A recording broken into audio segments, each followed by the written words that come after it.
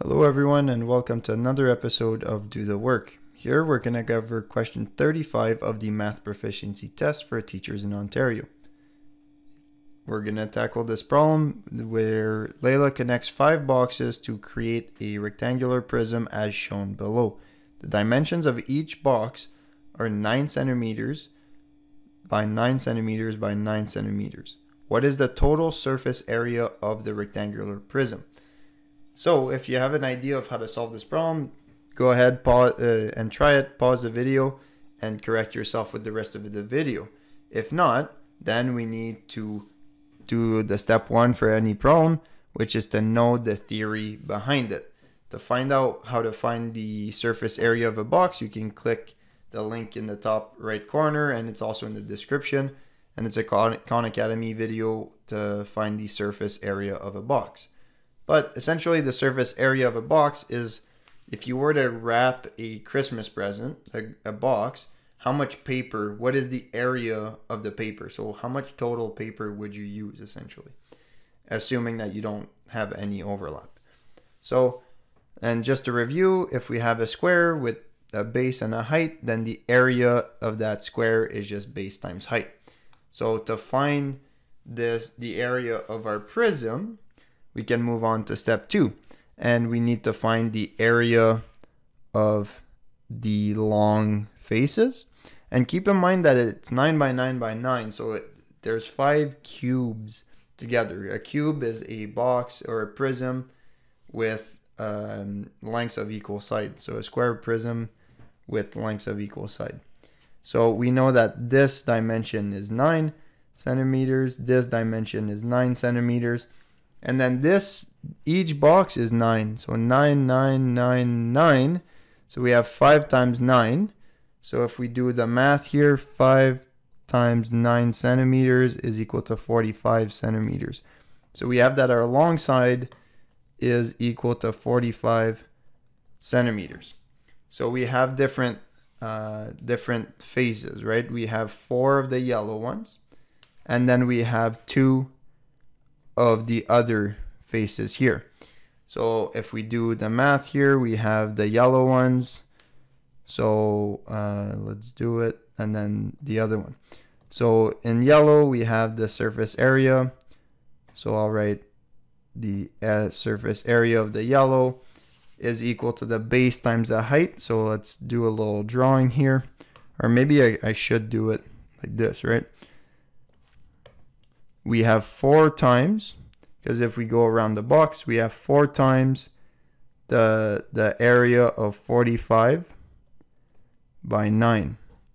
So the surface area of the yellow is simply 4 times the area of each rectangle. So that's 45 centimeters by 9 centimeters and I I can we could do this in our heads, but I'm feel a little bit lazy right now. So we have 405 centimeters squared, and that's uh, times four, right? So that's 405 centimeters squared. So when we do this times four, so that's four times 405, that's 1620 centimeters squared. So we have that the surface area for the yellow stuff is 1620 centimeters. And if I do it a little bit lower for the green part, for so for the green part, we have two times a squared of 9 centimeters by 9 centimeters. So when we do the surface area of the square, we have 2 times 9 centimeters by 9 centimeters. 9 times 9 is 81. So we have 2 times 81 centimeters squared. And we have 162 centimeters squared. So now the total surface area, and we could visualize it something like this, right? If we were to unfold or develop, sometimes they call this prism, we would have something like this. So these are the long sides and then we'd have our two bases, right? So this is 81, this is 81, this is 405, this is 405, this is 405. So and then when we add these two, that's the surface area of the bases. So then the total surface area, total surface area is equal to 1620 centimeters squared plus 162 centimeters squared. And if we do this in our head, that's 1782 centimeters squared. Is that one of the answers? Yes, it is, and we're done. We can also check our answer by doing the long multiplication here or doing times 5 times 4, I mean, and then plus 81 times 2 if we look at our development, and that's the same answer. So that makes sense here. That, that makes sense. And what, whatever works with you, right? It, it depends on everyone. But let's go ahead and build some intuition because let's go a little bit further. So what is the total surface area of the five boxes if they were not connected? So take each box, find its surface area, and add them together or do times five, right? Because they're all the same. So, and do you expect the surface area of the five boxes when they're not connected to be larger or smaller than when they are connected? So let's tackle the second question first. If they are connected, then we lose all this surface area, right? That the inside doesn't count. So we would lose some surface area. But everything else remains. So technically we would lose 4 times 81. So let's see. Well, uh, it would be 1782 minus 4 times 81. So maybe I'll type it in and then we can check our answer at the end. So it, I'll just write it here. 1782 and then if I if I subtract the four purple parts and each part has 9 times 9 area so that's where it comes from we, we should get the final answer.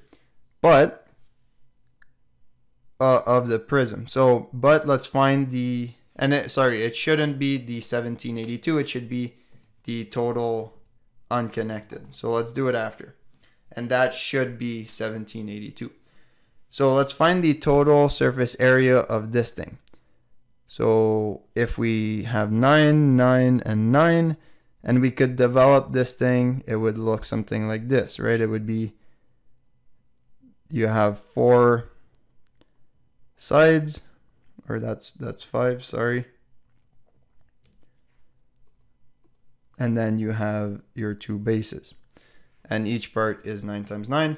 So then we have six faces of 9 times 9. So we have that the surface area for one box is equal to 6 times 9 centimeters times 9 centimeters. So that's 6 times 81. And that's 46 centimeters. So that's 486 centimeters squared. So that's for one one box, right? So the total surface area unconnected is you have five boxes. So five times eight, 486. So you have five times 486 centimeters squared. And then that's 2,430. That's 2,430 centimeters squared. It is greater, which makes sense. Now let's test our answer. We had, if we remove the purple parts, we should get 1782. Now is this true? We get 200, uh, 2,430 minus 4 times 81. So that's the purple parts. So I'll just draw that in. So that's 4 times the purple parts. And then when we press enter or equal, will we get the same answer? Note that 2106 is not the 1782 we expected. So we know we did something wrong here. And the thing we did wrong is that when we put two cubes together, we don't only lose one side of the surface area, we lose the other side of the surface area as well right? So we would lose this side and this side. So it's not like we only lose four. We really, we lose eight in total. So when I do eight, should I get 1782? And we do. So that's that's where we went wrong here. And it's good, right? We notice our mistakes, it helps build intuition, and that's a whole point of this question. I hope you enjoyed this question. The best way to support the YouTube channel is to share this video, subscribe to the YouTube channel, comment, and like the video if you want as well. Thanks for watching, and I'll see you in the next video of Do the Work.